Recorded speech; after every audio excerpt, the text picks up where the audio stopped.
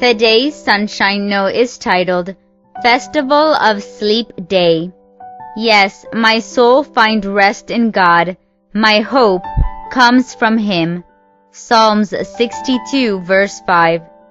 Now that all the exciting holidays have passed, are you feeling a little post-holiday letdown?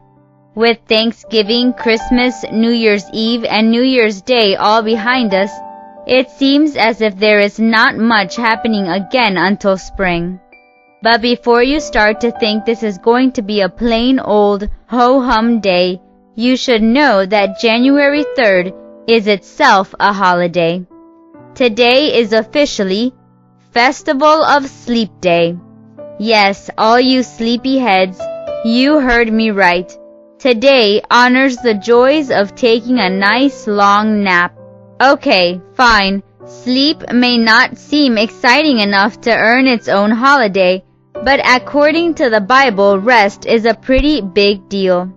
For example, Jesus himself pointed out to his disciples the importance of resting after busy times.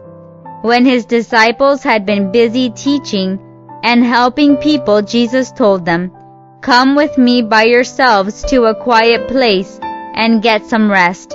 Mark chapter 6 verse 31. Another kind of rest mentioned in the Bible is Sabbath rest. It's so important that it made God's top 10 list, the 10 commandments. The fourth commandment says that even God the Creator rested on the seventh day. For in six days the Lord made the heavens and the earth, the sea and all that is in them, but he rested on the seventh day. Therefore the Lord blessed the Sabbath day and made it holy. Exodus 20:11. If God rested and he doesn't even get tired, how much more important is it for us to get Sabbath rest and be re-energized? Now, before you think rest is just about naps, keep in mind the bigger picture of rest. Sabbath rest is about taking a guilt-free break from homework and chores. It also gives us time to spend with friends, family, and God. And that's something to celebrate. I think rest deserves a holiday of its own after all. Live it out. Instead of dreading Sabbath, think of ways you can make it special this week. What kind of activity could you plan that would invigorate you and make you feel closer to God? Pray about it.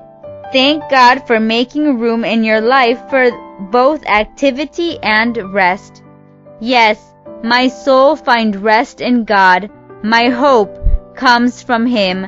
Psalms 62 verse 5. May God bless you today.